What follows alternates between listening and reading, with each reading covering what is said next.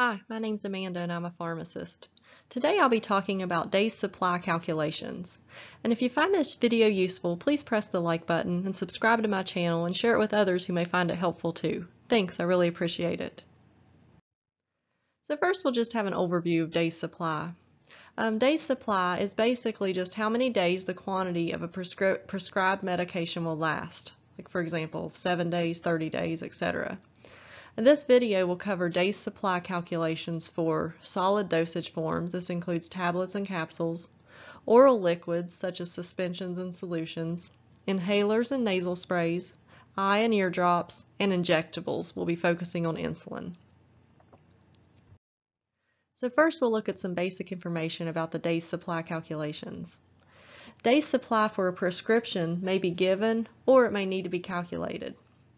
If the day's supply is given, the amount of medication to dispense must be calculated. This is done by taking the amount of medication used in one day and multiplying it by the number of days to use the medication. So for example, if the prescription is for taking two tablets per day and is for 30 days, that would be 2 times 30, which would be to dispense 60 tablets. If the day's supply needs to be calculated, you take the total amount of the medication dispensed and divide that by the amount of medication used in one day. And in order to for this to work, you these have to be in the same units. And this is where the conversion calculations may be needed. So for example, um, if you have 60 tablets, is going to be the total amount of medication dispensed and the amount of medication used in one day was two tablets, you would just divide 60 by 2 and that would give you 30 days. So let's look uh, more closely at the different types of um, prescriptions for the day's supply. Um, first we'll start with the solid dosage forms. Um, this includes tablets, capsules, suppositories, or anything that's in a unit dose. And I thought the best way to do this is to actually give prescription examples um, with a question. So this first one is for metformin 500 milligram tablets, one BID, that's one twice a day, dispense a one month supply, refill times three. So how many tablets should be dispensed for this prescription? So we'll take our number of tablets used in one day, multiply by the number of days. That will give us the answer. So one BID that would that's twice a day so that would be a total of two tablets in a day and times one month um, one month a good number to use for that is just 30 days because that's a good round number. So 2 times 30 will be 60 tablets. We'll look at another example of solid solid dosage form day supply. Um, this one is amoxicillin 500 milligram capsules um, 1 TID UAT means one three times a day until all are taken. Um, number 21 to be dispensed and no refills. So here we have the quantity and we're going to need to calculate the day supply. So what is the day supply for this prescription? So we're going to take the total amount of medication dispensed divided by the amount of medication used in one day and that'll give us the answer. So the total is 21 capsules to dispense and one TID um, that's one three times a day, so that would be a total of three capsules in a day. So 21 divided by 3 gives us 7, so it's a 7-day supply.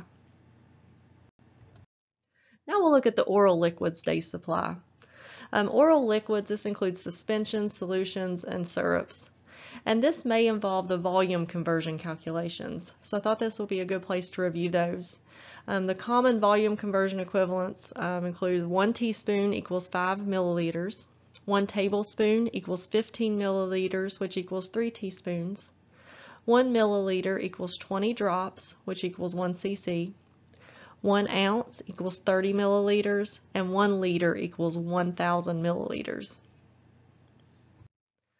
So our first prescription we have here is for amoxicillin 250 milligram per 5 ml suspension. And the directions are 1 teaspoon BID times 10D. That's one teaspoonful twice a day for 10 days. Um, dispense quantity sufficient, QS, and with no refills. So how much amoxicillin suspension should be dispensed for this prescription? Um, from our conversion equivalents, we know that one teaspoon equals 5 milliliters. So this is for 5 milliliters, one teaspoon, BID, which is twice a day. So that would give us a total of 10 milliliters per day. So now we're going to take the amount used in one day and multiply it by the number of days. So that's 10 milliliters times 10, those 10 days, gives us a total of 100 milliliters is how much we need to dispense.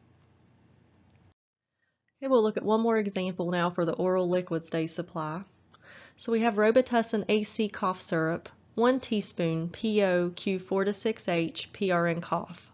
That's 1 teaspoonful by mouth every 4 to 6 hours as needed for cough. I dispense 4 ounces with no refills.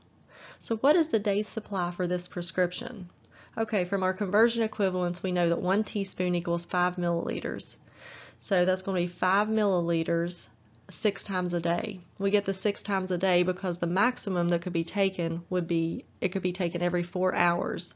So there are 24 hours in a day, so we would divide 24 by four, which gives us six times a day. So five milliliters times six times a day, five times six gives us 30 milliliters that could be taken in one day. And now we need to convert our uh, amount dispensed also to milliliters because remember this has to be they have to be in the same units so we have 30 milliliters in one ounce and we're doing four ounces here so it'd be 30 milliliters over one ounce times four ounces over one and our ounces cancel if you remember from our conversion calculations and so we have 30 times 4 gives us 120 milliliters so now we'll just take our total amount of medication dispensed and divide it by the amount of medication used in one day. So 120 divided by 30 gives us a four-day supply. Now we'll look at the inhalers and nasal sprays day supply. So inhalers and nasal sprays have a spe specified number of metered doses per container. The number of doses per inhaler or bottle of nasal spray is, is product specific and can be found by reading the label on the product. Um, the number of doses may be on the product label as metered inhalations. This is usually for inhalers or metered sprays. This will be for the nasal sprays, or it may just say metered doses. Uh, we'll look at our first example here, um, albuterol inhaler, 90 micrograms. 1 to 2 puffs Q6H PRN wheezing, dispense 1 inhaler, refill times 3. Um, so that's, uh, we know from our albuterol package that it comes, uh, the one inhaler has 200 meter doses. So if we calculate the maximum amount of medication for one day, um, the max would be 2 puffs and it'd be um, 4 times a day, Q6 hours. You have 24 hours in a day divided by 6 hours will give us 4 times a day it could be used. So 2 times 4 would give us 8, a maximum of 8 doses per day. And we know from our package that it's 200 meter doses. So now we'll just do our calculation of the total amount of medication dispensed divided by the amount of medication used in one day. Um, so we have 200 divided by 8, and that gives us a 25 day supply. And one more example now with a nasal spray. Um, we have Flonase nasal spray, two sprays QD into each nostril. Dispense one bottle, refill times two. So QD is once a day, um, so two sprays once a day. And we know from our Flonase bottle, um, it has 120 metered sprays in it.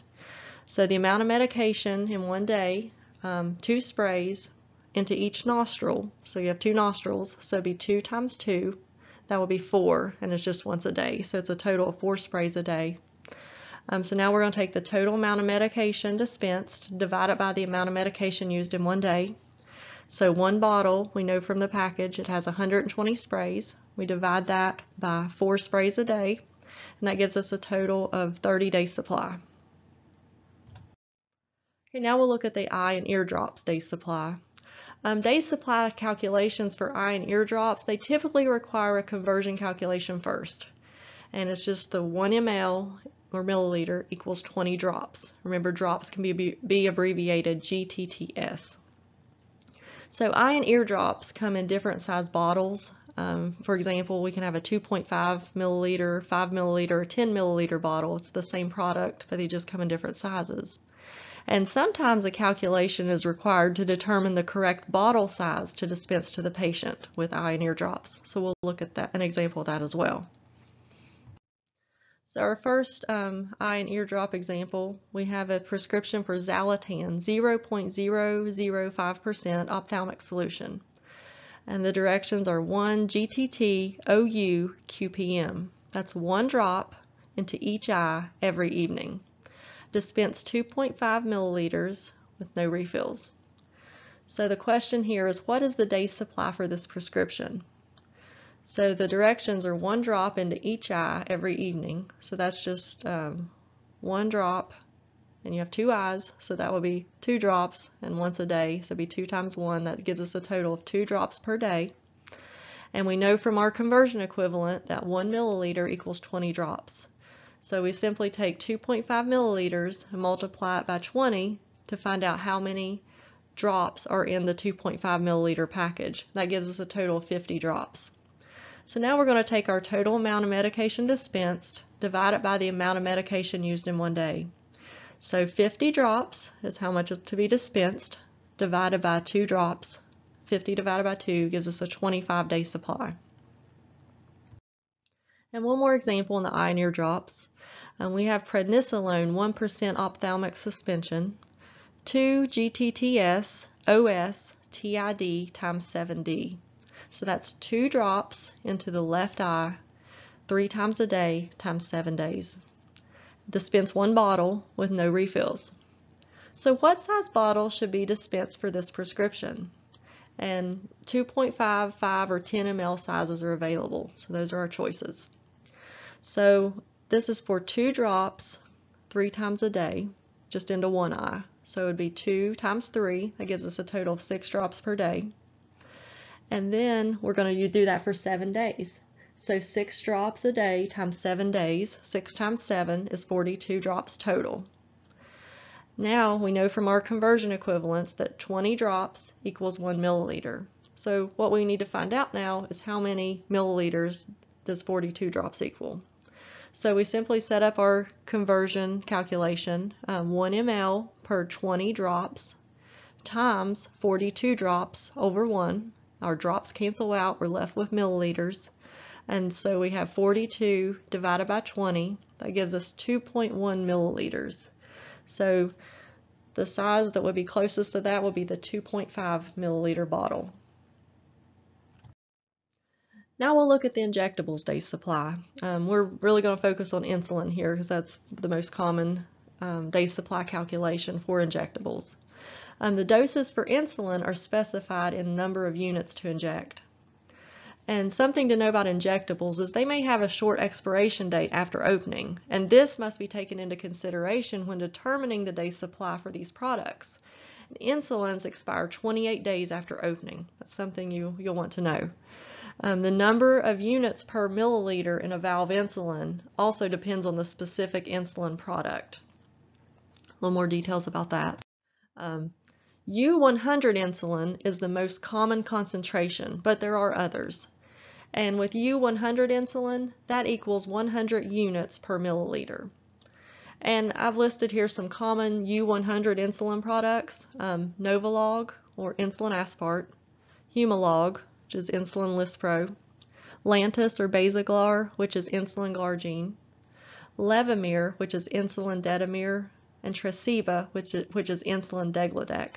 So the, the common insulins that are in the top 200 drugs are actually uh, U100 insulins, but I have a note here that the Tresiba and the Humalog are also available in U200. So it's just something to, to watch for. But the concentration, which is the units per ml of insulin, is on the package. If there are ever any questions, you can just look at the package and see what the um, units per ml is on that. And something that's helpful to know, um, a 10 milliliter vial of U100 insulin equals 1,000 units. So that's something you'll want to memorize.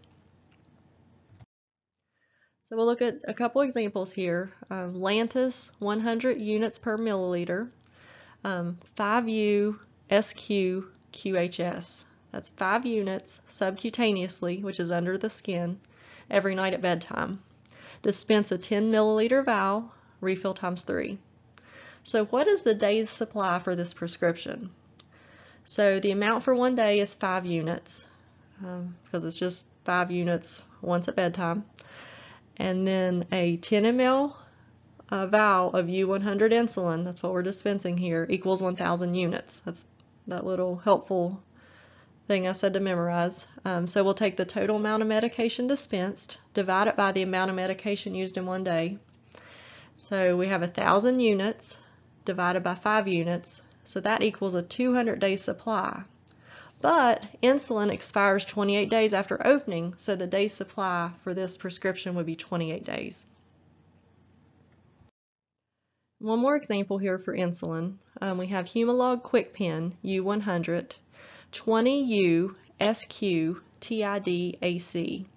That's 20 units subcutaneously under the skin three times a day before meals. Um, dispense five 3 milliliter pens and refill times two.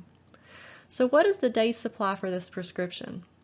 Um, 20 units three times a day um, would be a total of 60 units for one day, 20 times 3. And then to find out how much is in the the five pens, we have five 3 milliliter pens, so that will be a total of 15 milliliters. So we know this is U100 insulin, so that means 100 units per 1 ml. And we'll multiply that by 15 milliliters. Our milliliters cancel out, we're left with our units on the top. So that equals um, 100 times 15 equals 1500 units will be dispensed. So now we're going to take our total amount of medication dispensed and divide it by the amount of medication used in one day. So we have 1500 divided by 60 and that gives us a 25 day supply. And we know insulin is good for 28 days so that day supply we can leave it as is. So now we'll just look at a little summary of our um, day supply calculations. Um, day supply is how many days the quantity of prescribed medication will last. Um, if day supply is given, the amount of medication to dispense has to be calculated. And this is done by taking the amount of medication used in one day and multiplying it by the multiplying it by the number of days to use the medication.